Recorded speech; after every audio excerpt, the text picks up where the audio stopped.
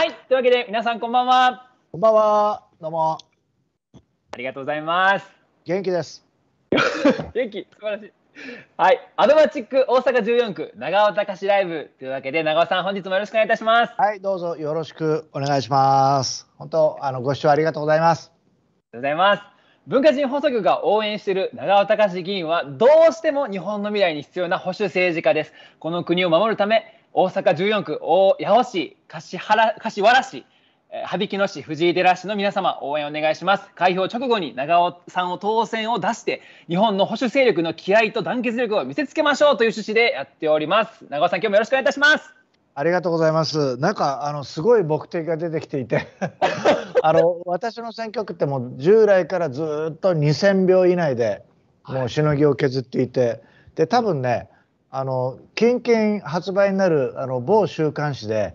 最も自民党を。議員を落選させやすい議員ランキングっていうのがありましてすごいですね私あのトップ10に入りましてね。ええというのは大体1600票とか1800票差ぐらいでいつもあの勝ったり負けたりしてるんですよ。うん、そんなんでねもう本当にあの日付変わって当落があの決まるという選挙区なんでまあ、うん、今あのスタッフ T さんが、はい、あの口にしていただいたフレーズっていうのは本当にあの、はい、夢物語のようなあの、えー、フレーズではありますが、うん、せっかくなんであのお言葉に甘えたいなと思います。はい、ありがとうございます。無茶ぶり P はですね、本当に開票直後に長尾さん当確と出しましょうというふうにもう意気込んでますので、ぜひそのつもりで私たちも応援させてもらいたいと思います。えー、もう私が一番頑張んなきゃいけないと思います。よろしくお願いします。よろしくお願いいたします。視聴者の皆様もどうぞよろしくお願いいたします。はい、よろしくお願いします。はい、ありがとうございます。というわけで早速本題に行きたいと思うんですが、長尾さん、今日はどういう一日だっただったですかね？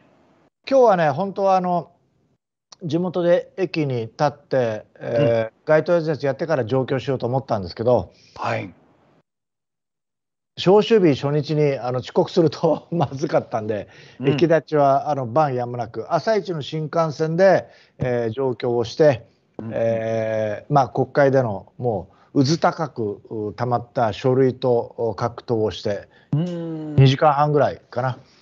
うん、でまあ13時からの衆議院本会議で、うん、えー、岸田文雄、えー、第100代総理大臣の主犯指名、えーはい、記名投票、まあ、これを書いて、うん、衆議院本会議が終わって、うん、で、まあ、参議院本会議が終了して、うんうん、で明治ともにあの総理になられたということを見届けたい、えー、地元にあの戻ってきて、はい、でまあ1時間半ぐらいあの駅頭で、えー、マイクを握って、うん、でこの間ちょっとあのご紹介したヒゲクジラさんで、はい、えー、ビール1杯と、えー、あのチューハイ1杯、うんうん、飲んで今ここに座っております。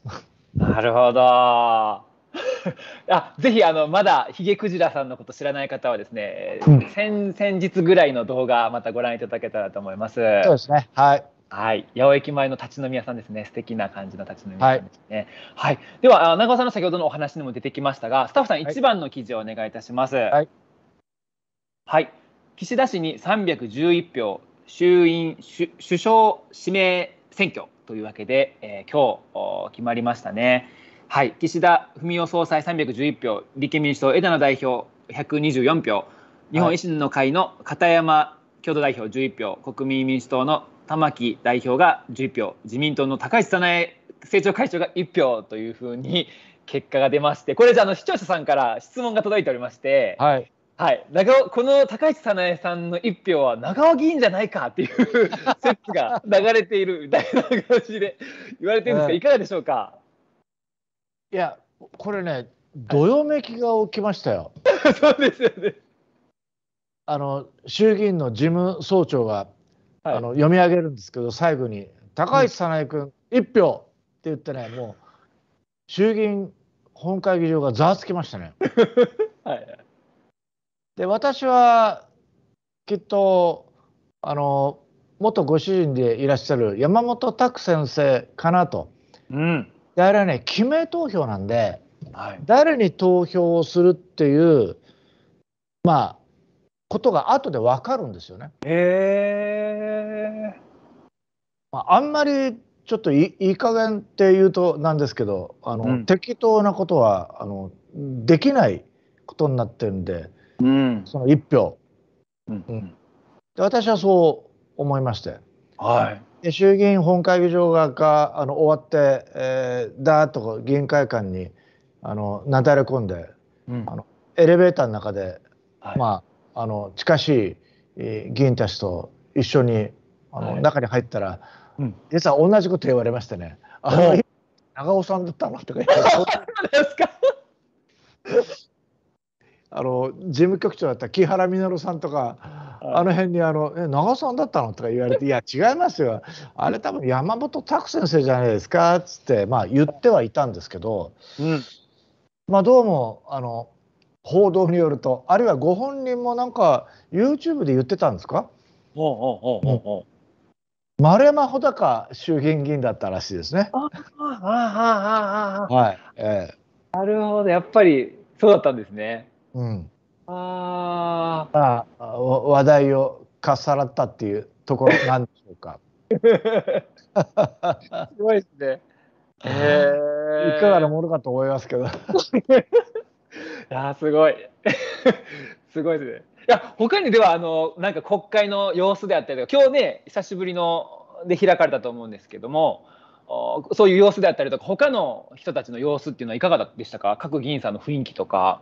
うーんまあやっぱりこう閣僚にえーなられる、まあうん。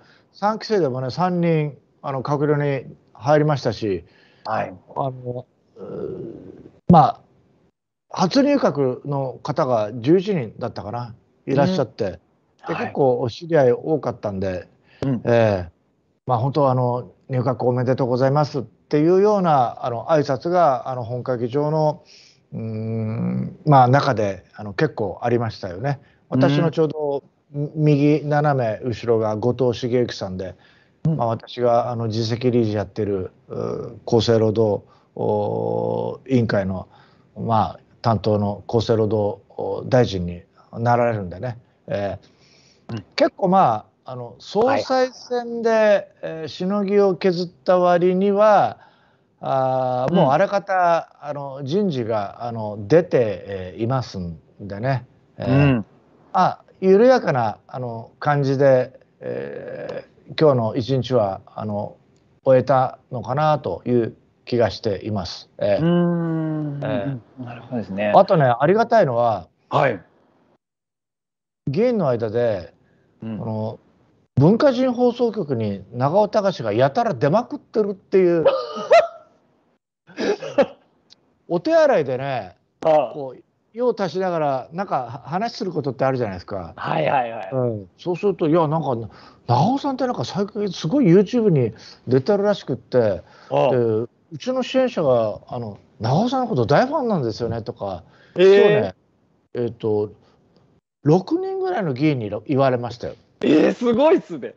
はい、これもすべてあの文化人放送局のスタッフの皆さん並びに無茶びり P のはいおかげさまということで、えーああ、こちらこそです。はいえーまああの、えー調子に乗らないように頑張ります。いやー私たちにとっても嬉しいお言葉を聞かせていただいて。はいはい本当そうにです。えーはいありがとうございます。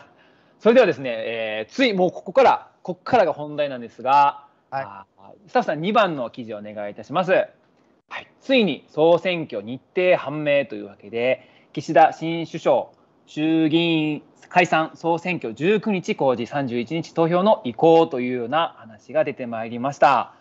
長尾さん、いよいよですね。はいはい。えーそうですね、意気込み、まあ、そうですね、今回の訴えていきたいことなど、ちょっとまあ、こまあね、これからどんどん深掘りして伺っていきたいと思うんですが、そうですね、いよいよ決まったということで、ど今の心境などを聞かせていただけたらと思います。第一報をもらった時にはい。あのやったと思いましたよね。え誤ったことが。うんでどのみち支持率はこれから上がることはないんでね、うんあの下がる一方なんで、選挙もしやらせていただくなら早い方がいいと。はいはい。で内々には、まあ、あの正面切ってあの岸田総理にあ話をすることはありませんけれども、うん。なんでその14日なんていうあの週をまたいでえ解散すんのって、まあ、結果14日解散なんでしょうけども、うん。えーまあそれで、えー26日公示の11月7日っていうことで、まあまあ、うちの事務所もあのスケジュールを組んで、えーいたんですけれど、うん。おまあ、8日の解散はないにえーせよ、うんおまあ、19日からあ衆議院総選挙やって31日投開票日だっていうことになると1週間約早まるのではいはいはい。これはあのは一刻も早い方がいいと、ううんん思ってえーいましたんでこれはあの、ありがたかったですね。うん。うん。あ訴えたいのはね、もうあの、はい。私のあの誰も信用してくれないんですけど、専門分野の社会保障、おーおー ええあとはあのそれに加えてあのえ外交安全保障とお経済安全保障、まあ、この3つの柱で、えーしんあのあ貫く信念を持って、えー日本を守ると、うんまあ、こういう形でねあの言葉あの噛み砕きながらあの衆議院選挙に臨んでいきたいと思っております。はいはい。ありがとうございます。そうですね。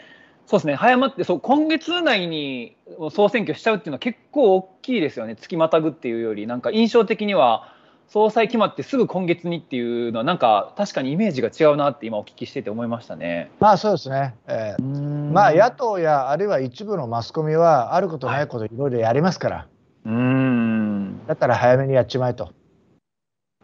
うんうんうんうん。そうですね。なるほどですね。なんかあの本当にこれは素素人っていうか全然分かってないものの質問なんですが、ええしばらく本会議とか審議っていうのは行れ行われるってことですよね？その14日までは。えーとですね、今日やって、まあ、私がこうやって地元に戻ってきて、えーいる以上ですね、うんえー明日明後日と、あとだから8日に、はい。えー総理のお施政方針演説がある、これが金曜日。うん。で、まあ、11日はあー休日だったのが休日じゃなくなったので、えー11、12、13とお衆議院と参議院の施政方針演説に対する代表質問。ああ。でこれが終わって普通なら予算委員会を始めるというところなんですけども、それは衆議院解散総選挙が終わってからよということで、えー11月のお14日に、えー解散と。ですから今週はうん。あ8日に状況を多分、うん、することになるだけでずっと地元にあのおります。うーん。はいなるほどですね。そっか。じゃあその代表演説の中で。なんかこう野党の人らが上げ足取りあの岸田総理のこと上げ足取りとかそういうことは別特にありそうですか？ないそなさそうですか？まあそれしかやることないですからね野党は そっかお気の毒に。えーあえーあーそっかそこでじゃあ、まあ、予算委員会になったらいろいろもう本当に本格的に上げ足取りっていう感じにされるかもしれないですがそれはなくて代表質問の中でいろんなことをこう印象操作みたいなことをしてくる可能性があるっていうイメージですかねそしたら。まあそうですね、まあ、あのどの国会に限らず、普通にあのやるでしょうね。あーそっかあ野党はそれが仕事ですから。そうですね。なるほど、そっか、じゃあその点を、まあ、この11、12、13ですね、主に11、12、13を超えると、まあ、予算委員会みたいに変な、まあ、変なっていうか、え 失礼しました、そのなんか、変な変な ごちゃごちゃせずに、えーすっと総選挙あ、そう解散に流れるということですね。まあそうですね。えあーそっか、ちょっとあ、ちょっとだけ安心しました。なるほどですね。はいはいはい。ーはい、なる本当にどんなあ演説をされるかも楽しみですし、そうですね。はい。ね、これからどういう自民党になっていくのかっていうのも本当に楽しみだなというふうに思いました。はい。ですね、えっと、3つ、先ほどあれですよね、えー厚生労働のことと、あと経済安保のことと、あと国防の観点にはい3つ押していきたいっていうふうに言ってくださいましたよね。だから特に、えーこれだけはななんですかねやり残したことというかなんか成し遂げれなかった。今回の任期ではできなかったけど次何とかして何としてでもやりたいっていう思ってらっしゃることとかってありますか？まあいっぱいあるとは思うんですけども。